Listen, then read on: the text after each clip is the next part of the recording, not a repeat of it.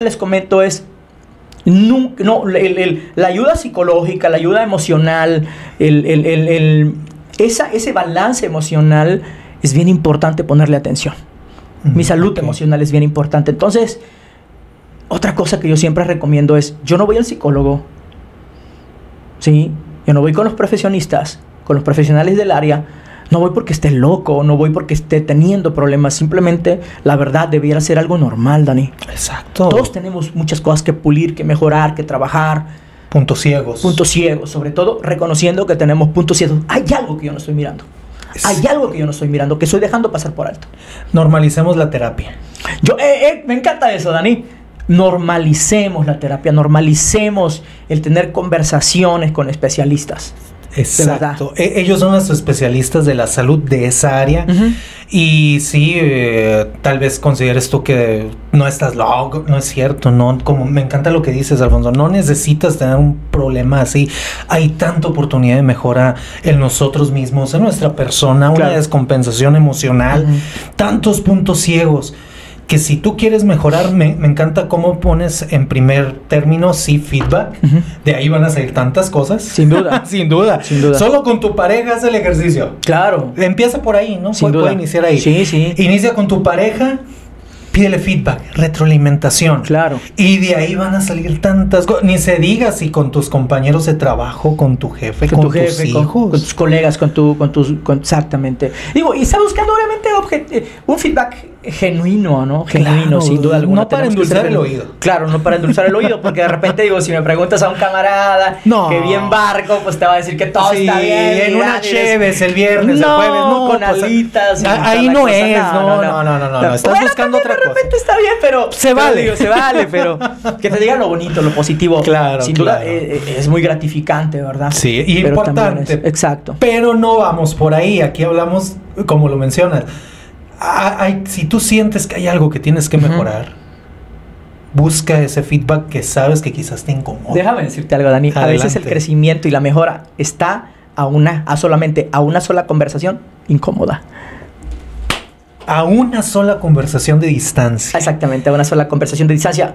eh, de esas conversaciones incómodas, ¿no? Que confrontan. Sí, claro. No estoy hablando de una conversación agresiva. No, No, no, una no, conversación no. asertiva. Sí. Asertiva, asertiva. Que alguien sea genuino y franco contigo. Y, y- y quiero hablar de esto porque si tú ya te estamos poniendo ahí la semilla para que tú busques feedback con tu familia o en tu trabajo, ¿cómo abordar esa conversación? ¿Cómo abordar el feedback de la manera correcta? ¿Cómo es esa disposición? del- ¿Cómo debe ser esa disposición de la persona para que el feedback sea efectivo? Mira, y de entrada yo creo que tienes que quererlo. Fíjate que yo cuando hago coaching, eh, me, ha- me- me- me he enfrentado a situaciones en las que me dice, por ejemplo, la mamá de una señora, me dice, oye, quiero que mi hijo le des coaching, que le des una sesión de coaching. Y yo la verdad no prefiero entrar en donde la persona no está abierta, no quiere. Y bueno, es una amiga y la verdad intenté hablar con, con el muchacho. Pero te digo algo, veo mucha apertura con las personas que vienen y lo buscan. Que dicen, ¿sabes qué? Tengo una situación, quisiera tomar una decisión, no estoy tan seguro o no sé qué traigo aquí en la mente, quiero aterrizarlo, quiero darle orden, quiero darle una estructura. Ayúdame con una sesión de coaching. Me interesa. Veo que esas personas, wow, están, como dicen en inglés, willing, tienen voluntad. Voluntad. Exacto, trabajan lo que, lo, lo que sale ahí en los planes de acción, lo trabajan y trae la tarea hecha y, y- y te das cuenta. Pero cuando tú, le, tú se lo ofreces, están como desganadas. O Entonces, alguien más. Sí, desde mi experiencia, tienes que querer.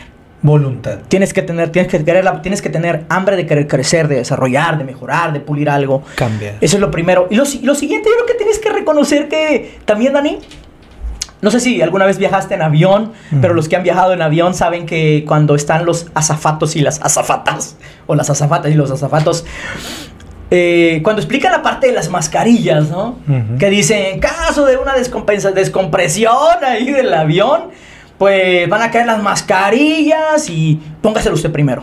Ujú. Ahí está, mi Dani. Yo creo que la primera persona, no, a veces queremos que los otros cambien, que tú hagas un cambio, que tú mejoras. Bueno, yo te hablaré bien hasta que tú me hables bien, o yo te voy a perdonar hasta que tú me perdones, o yo te voy a hablar hasta que tú me hables. O, Y la verdad, la primera mascarilla es, la, es para nosotros. Es para nosotros. Y la persona que es como el perdón, lo emites Para liberarte. Es por ti. Es por ti, exactamente. Porque, ahora, perdón, que me salta lo parte del perdón, porque hay una analogía bien interesante. Es que el perdón es como que, el, el no perdón, el que no, tom- el que no te niegues a perdonar, es como que tú te bebes el, el, el- el veneno esperando que el otro se muera. no, o sea, eso. Sí. Exacto, entonces tú, lo tú perdonas por eso. Y yo sé que está trillado, porque la verdad mucha gente habla de eso también en las redes. Pero, pero la verdad es así es, no, no veo otra forma. Y en la inteligencia emocional, Dani, es así. Ok. La mascarilla te la pones tú primero. Te responsabilizas. Te responsabilizas, tomas propiedad, tomas ownership, empiezas contigo. Y es que no podemos controlar lo que hace la otra persona, pero sí lo que está en nosotros. Exactamente.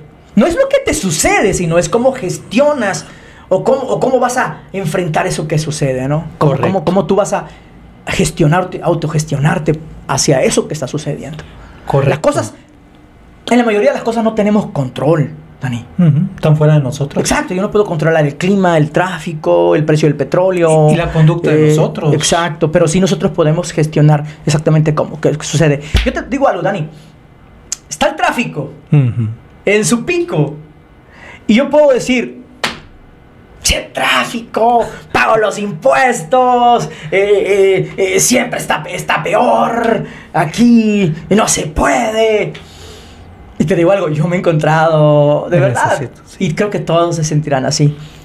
Yo tengo, tengo que saber que tengo esa opción, esa alternativa de actuar, pero también que hay otras formas de actuar. Claro. Por ejemplo, te puedo decir, "Hmm, el tráfico es lo que es. Ahí está el tráfico, Dani. Entonces, lo que digo, me conecto al Bluetooth, me pongo la mejor música y me pongo a disfrutar y digo, es un momento personal que voy a disfrutar. O le hago una llamada a mamá, Ujú. le hago una llamada a un amigo que hace mucho tiempo no hablo con él, pongo un audiolibro o pongo un podcast del Poncho, del For You, de Dani. Entonces, me pongo a edificar, pongo a hacer algo productivo. Entonces, realmente sí tenemos elección. La tenemos. Sí, porque hay personas que dicen, aquí me tienes esperando como tonto. Bueno. Ok, bueno, Cada quien espera cada como quien quiere, espera ¿no? como quiere. De verdad. Entonces, ok, ¿de qué otra forma puedes esperar? Bueno, quizá leyendo una revista, quizá Viendo memes si viendo quieres. memes si quieres, leyendo un libro. ¡Campeón! O sea, a veces nos enlazamos, yo digo, nos enlazamos con los propios dichos que estamos diciendo, ¿no? Pero te digo, es bien importante. Tú le ordenas al cerebro, tú le ordenas a la mente, es así como va a actuar. De repente ya nos vamos a encontrar actuando así. De manera distinta. Exacto. No, yo le llamo secuestrados emocionalmente. Entonces, no caigamos secuestrados emocionalmente, Dani. Hay formas de no caer secuestrados emocionalmente. Entonces, ¿cómo desescalamos eso? Exacto.